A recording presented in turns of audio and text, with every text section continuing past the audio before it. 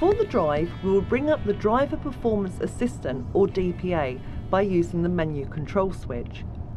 This is now monitoring our driving performance. It's looking at driving style, primarily anticipation and braking efficiency. Up ahead we have a roundabout, so I'm going to throttle off and allow the vehicle to decelerate naturally before activating the exhaust brake.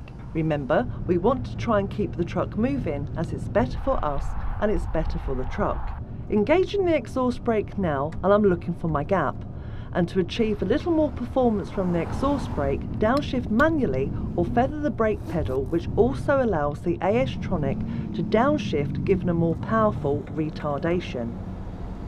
Exiting the roundabout and going back onto the throttle will override the exhaust brake and you can see that we've got good results for both anticipation and efficient braking. And with a straight steering wheel simply switch off the exhaust brake. If you don't switch off the exhaust brake, then every time you throttle off or cancel cruise control, the exhaust brake will engage. This may be detrimental to anticipating the conditions ahead and so affect your DPA score.